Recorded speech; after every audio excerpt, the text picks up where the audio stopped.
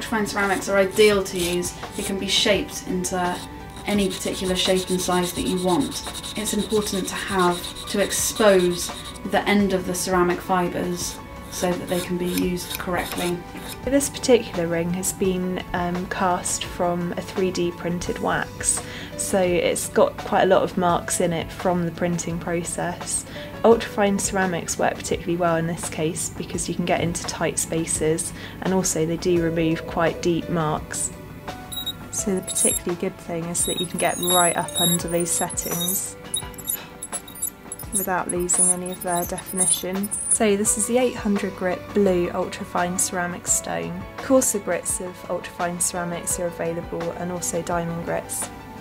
So I'm just using a pair of parallel pliers, um, pretty much any will do, and this just breaks the stone where you want it to break.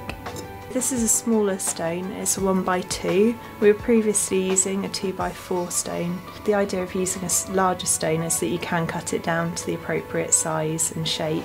And this is a finer grit that we're using. It's a 1000 grit.